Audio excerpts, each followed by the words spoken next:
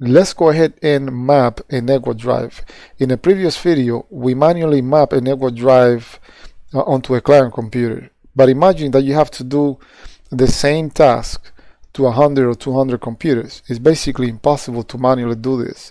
So group policy allows to remotely or, or complete a specific task from a central location. Okay, so in order to map a, let's say that I wanted to map, if I open File Explorer and I go to this PC and double click on the data drive, let's say that I wanted to map the share folder using group policy to all the computers in the domain.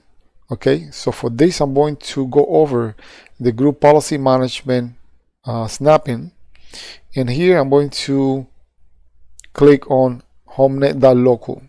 Notice that if I go to uh, group policy objects by default, when I install a, an Active Directory domain controller, I have two default group policy. One is the default domain controller policy, which applies to the domain controller, and I also have a default domain policy, which applies at the domain level, which everyone will be affected by this policy. Okay, so usually you don't want to edit this default domain policy. You want to create new policy, and every time you create a policy, you want to create a policy to perform in a specific action. You don't want to create a policy and enable a bunch of settings or perform a bunch of actions because it becomes extremely difficult to um, to troubleshoot or make sense of that policy. Okay, so I want to map a network drive, so I'm going to click on a group policy objects and I'm going to right click on it and click on new. And for this group policy, I'm going to name it map network drives policy. Okay? So I'm going to go ahead and click OK. And now the policy has been created. So now I can edit that policy. So I can right click on it and click edit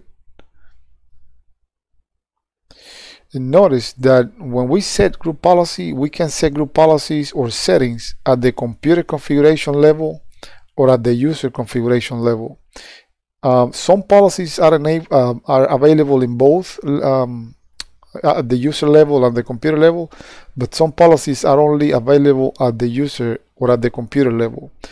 In order to map a network share, this is something that is done at the user level. So I'm going to expand preferences and then I'm going to expand Windows settings. Here on Windows settings, I'm going to click on drive map. And then I'm going to right click and go to new map drive. Okay, here on map drive, on the action I'm going to leave it as update. On the location I'm going to click on these uh, dots here. And actually the location I need to enter the UNC path of that network share on the network so that is DC1 or this is dash 01 uh, forward slash and it's actually the human resource shares. Uh, let me double check. Uh, if I double click on the share, notice that I have two different shares here. One is the human resource and the other one is the text share. So I want to enter that network share and not the name of the uh, of the directory. So if I um, if I right click on the share and then go to properties and click on sharing, notice that this, uh, this is actually the UNC path okay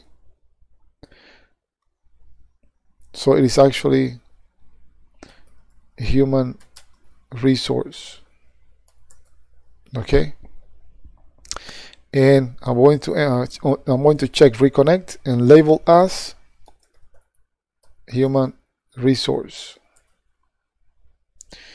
Um, I need to assign a drive letter to that drive so I'm going to scroll down and I'm going to select V. And for everything else I want to leave it as default and I'm going to go ahead and click apply and OK. Alright so now I'm going to go ahead and close uh, this group policy. And every time you create a group policy um, in order to apply a group policy then you you need to link the policy either at the domain level or at the OU level.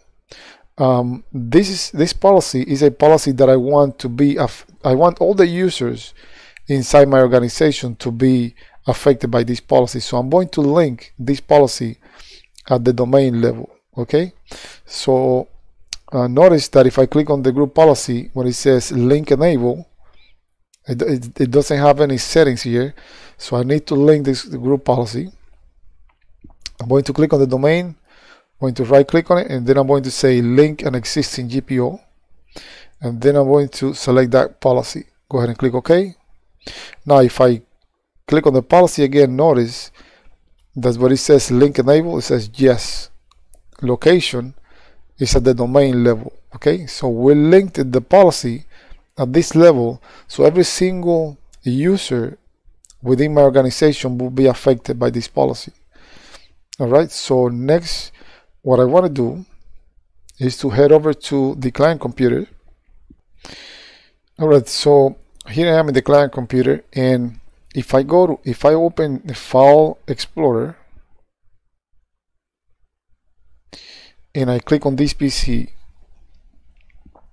and notice that I already have the human resource um, network share mapped here. So I can double click on it and I can access that share from here. I can create a new folder. So that policy uh, has taken effect. Okay, so group policy usually don't apply immediately after you create a group policy. Um, group policy take effect uh, or the computers actually refresh group policy every 90 minutes. But there is a way that you can actually force the client computer to pull all the effective group policy from the domain controller. There is a command. If you do window R and you type cmd, and there is a command called gp update.